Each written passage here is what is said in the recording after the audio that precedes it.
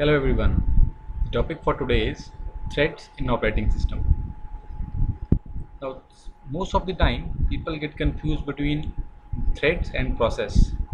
Sometimes we think that threads are the same just like process or threads and process are different things, are different entities. I'll take a simple example to make it clear what a process is and what is a thread.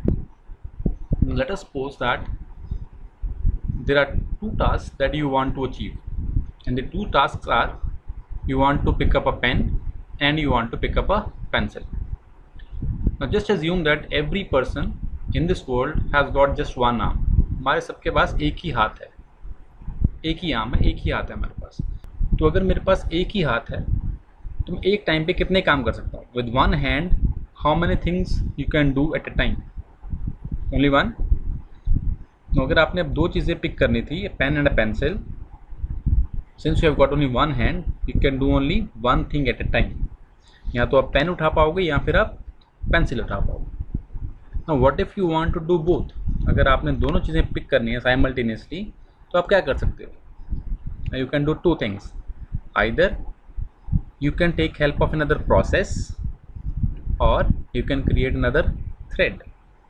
Now, what do you mean by taking help of another process? Another process means आप किसी friend की help ले सकते हो। अब आपके पास भी एक हाथ है, आपके फ्रेंड के पास भी एक हाथ है। One of you can pick up the pen and other can pick up the pencil so दो प्रोसेस ने एक एक काम कर लिया। इसमें क्या था? आप पेरेंट प्रोसेस हो गए और आपका फ्रेंड चाइल्ड प्रोसेस हो गया। नाउ सेकेंड ऑप्शन अगर आप प्रोसेस क्रिएट नहीं करना चाहते हो तो आप क्या कर सकते हो? ना प्रॉब्लम क्या है? What is the problem with creating a new process देखो, जब हमने किसी और से काम करवाना है राइट तो हमें उसको फ़ीड करना पड़ेगा ओके उसे हमें पे करना पड़ेगा, उसे कुछ हमें रिसोर्सेज देने होंगे चाय पानी कुछ ना कुछ आप अगर किसी की हेल्प लेते हो किसी पर्सन की तो आपको उससे कुछ ना कुछ देना पड़ता है right same is the case with process जब आपने नया प्रोसेस बनाना है तो प्रोसेस को मेमोरी में रैम में एंटा एक आपको सेपरेट लोकेशन देनी पड़ेगी। उसे कुछ रिसोर्सेज एलोकेट करने पड़ेंगे। Okay what is the alternate if you think problem कहाँ थी? आपके पास एक ही हाथ था। लेकिन मुझे दो काम करने हैं तो मुझे क्या चाहिए?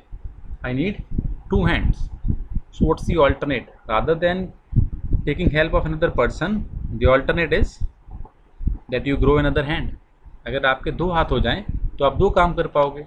अगर तीन हाथ हो जाएँ तो आप तीन काम कर पाओगे, right?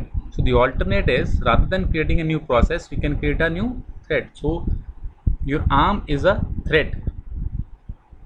आप खुद क्या हो? एक process so thread is part of a process if you want to do multiple things what you can do you can create threads within a process आप तीन, चार, पाँच हाथ अगर आपके ग्रो हो सकते हैं तो आप उतने काम सेम टाइम पे कर सकते हैं। ओके व्हाट इज़ एडवांटेज अगर मैंने एक हाथ ग्रो किया है तो मुझे एक्स्ट्रा क्या देना पड़ेगा? उस हाथ के लिए थोड़ी सी एक्स्ट्रा स्पेस देनी पड़ेगी। आप शर्ट वियर करते तो ठीक है, एक आम और लगानी पड़ेगी शर्ट के ऊपर।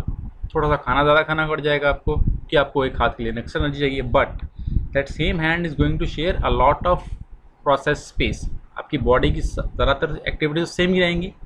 वही आम, वही बॉडी को शेयर करेगी right so threads share some portion of the process while they have some things of their own so what is a thread thread is part of process it's the smallest unit of execution so i hope this example makes a difference clear between the thread and a process so this is what it looks like on the left you can see a single threaded process every process in itself is a thread her process अपने आप में एक thread तो है ही ठीक है जी Now process has what code data files registers and stack now if you duplicate a process तो आपको ये सारी चीज़ को duplicate करना पड़ेगा every process will have its own code own data own files own own registers own stack everything but if you have a multi-threaded model or a multi-threaded process तो क्या होगा there can be multiple threads within the same process and every thread will share the code data and files of the process कुछ part वो process का share करेंगे. And they will have their own registers and stack कुछ portion उनका अपना okay so this helps us to save the resources within the system so always remember a thread will have its own thread ID own program counter own register set and own stack whereas all the threads that belong to a process will share the code section data section and other resources like open files. Okay? Now can a thread exist without a process? The answer is no. Okay? The moment you kill the process all the threads will automatically be killed because threads threads are part of the process what are the benefits of creating threads so the benefits are first is responsiveness now if you are having multiple threads this means your process is doing multiple things at the same time so even if one of the thread becomes unresponsive the other thread will still continue to respond for example ms word it's a multi-threaded process एक thread आपका input लेता है user से दूसरा thread spelling checking करता है right so even if one of the thread let suppose जो spell check वाला थ्रेड है, अगर वो इनएक्टिव भी हो जाए the other thread which takes the input from the user is still active and you still think that the process is responding to you so जो process है हमारा वो ज़्यादा रिस्पॉन्सिव हो जाता है। Resource sharing this we have already done threads will share certain resources of the process अगर threads कुछ रिसोर्सेज शेयर कर रहे हैं this means what the model is a better model in terms of economy in terms of cost and the last scalability अगर आप एक multi threaded process create कर रहे हो this means you can scale up the application depending upon how many threads you are able to create every thread can be run on a different processor अगर आपके पास quad core या octa core processor है तो आप application को उतना ज़्यादा स्केलेबल कर पाओगे। Because you can create those many threads and each thread can run on a separate processor what are the challenges for programmers? The first challenge is dividing the activities.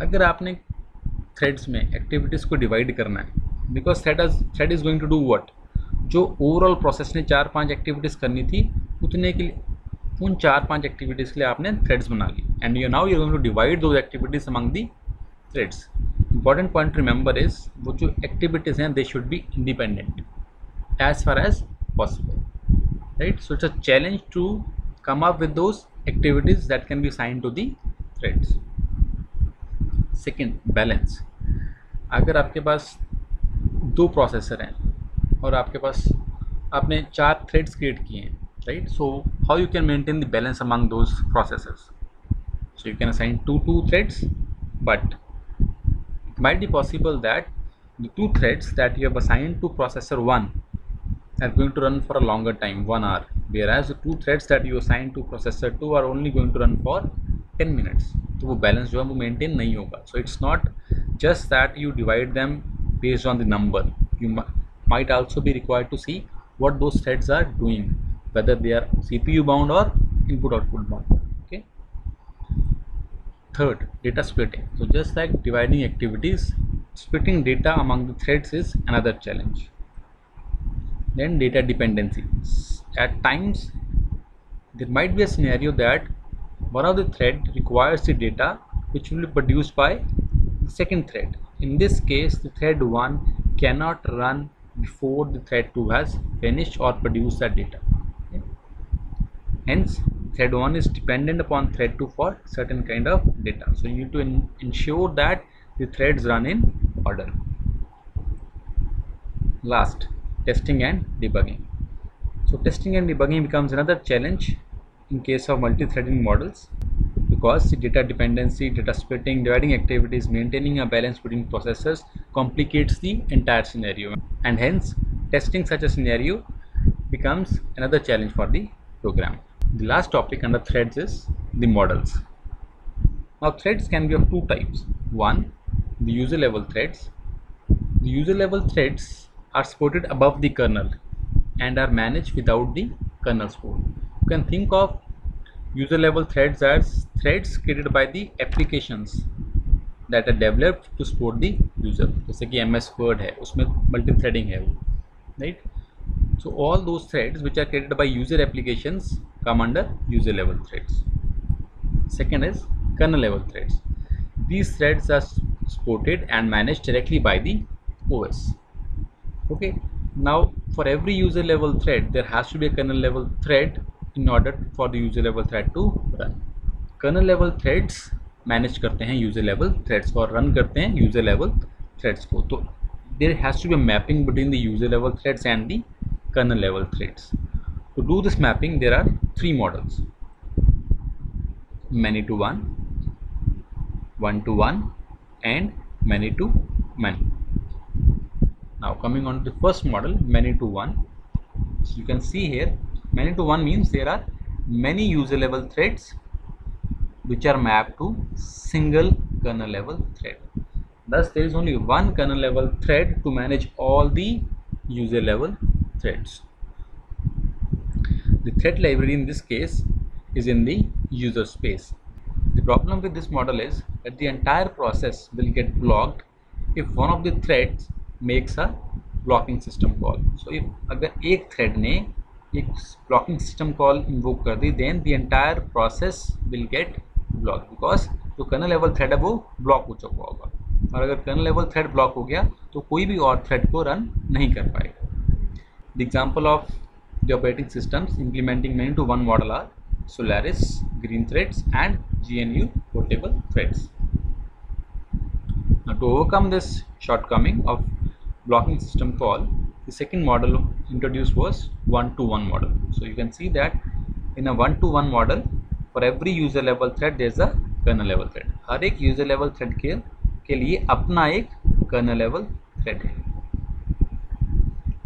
even if one of them gets blocked the other two are still free to run तो जो shortcoming many to one की model की थी उसमें हमने overcome कर ली now there's another drawback but in this case the drawback is that for every user level thread there has to be a kernel level thread जितने आप user level threads बनाओगे उतने kernel level threads भी होने चाहिए now as a user you might develop an application which goes on creating user level threads तो उससे क्या होगा OS को भी उतने kernel level threads बनाने होंगे and every thread will require certain resources which we have seen every thread is going to have some of its own resources so ultimately system के ऊपर वो burden या load जो है वो increase हो जाएगा the OS which implement such model the examples are Windows and Linux the last model is many to many model in many to many model there are many user level threads and there are many kernel level threads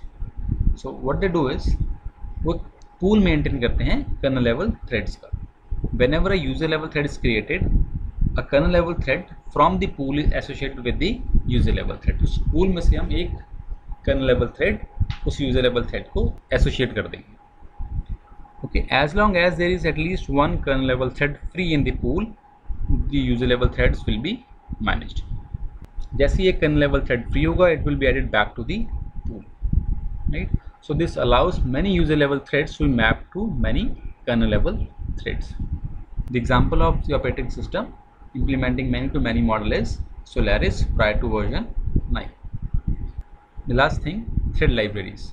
So these are the three most commonly used thread libraries. POSIX thread Win32 for Windows and Java threads. To understand the practical aspect on how to create threads and how to pass the task assigned to the thread you can visit this link. All the theoretical aspect all the programs as well as the video are mentioned in this link. So i hope that the concept of threads is clear to you now. The next topic that we're going to discuss is process synchronization. So see you in the next class